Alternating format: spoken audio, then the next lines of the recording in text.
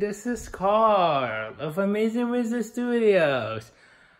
I have some good news. In fact, I finally decided that another gameplay walkthrough for the team will be starting soon. It's gonna be in Forza Motorsport 5 for the Xbox One. In fact, it's a racing game that was released for the Xbox One back in 2013. I know.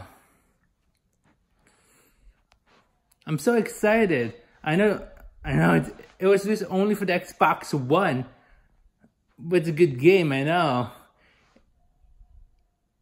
I believe it's like a simulator too. And it's fun. In fact, I I've had that game alongside my Xbox, my original model Xbox One since I got that for Christmas of 2014. I know. It wasn't until sometime in the summer of 2015 that I played Forza 5 for the first ever time.